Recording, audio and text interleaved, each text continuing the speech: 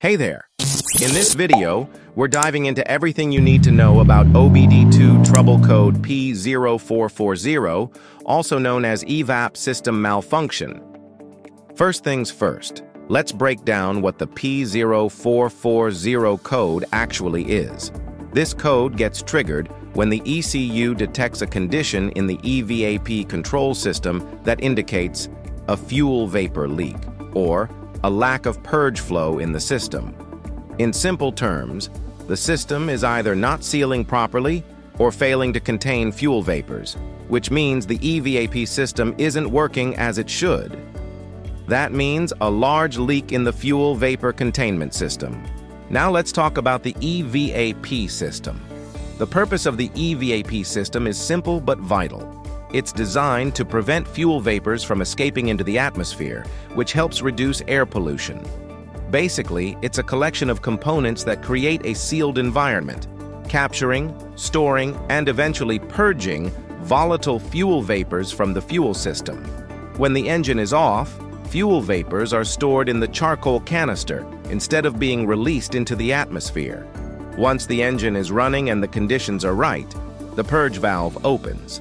This allows those stored vapors to flow into the engine, where they're burned during the normal combustion process.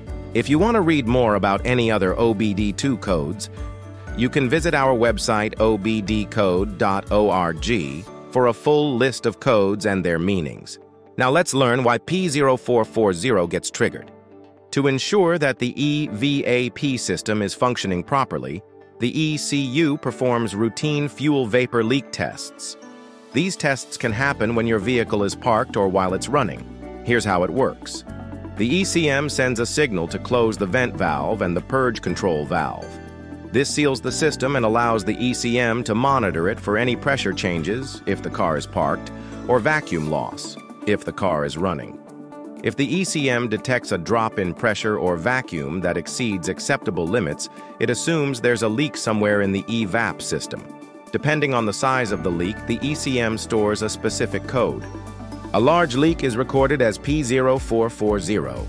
Now that we understand what P0440 means and how it gets triggered, let's cover how to reset it. Sometimes error codes like P0440 appear due to recent maintenance or temporary glitches, and they may clear up after an OBD2 reset. To do this, you'll need an OBD2 scanner. If you don't have one, check out the link in the description for the best scanners out there. Simply connect the scanner to your vehicle, follow the instructions to clear the trouble codes, and see if the P0440 code reappears. If the P0440 code reappears, it's time to look into some common root causes of P0440. Let's discuss some common root causes of the P0440 error code. The first cause is gas cap issues. Your gas cap could be missing, left open, or just not secured properly. Even worse, it might be faulty or damaged, which can compromise the sealed system. The next cause is cracked or damaged fuel tank. A cracked or damaged fuel tank can allow vapors to escape, leading to the P0440 code. The third cause is faulty fuel tank pressure sensor. The fuel tank pressure sensor plays a big role in monitoring the EVAP system. If it's faulty, it might falsely trigger the code. The fourth cause is cracked or damaged charcoal canister.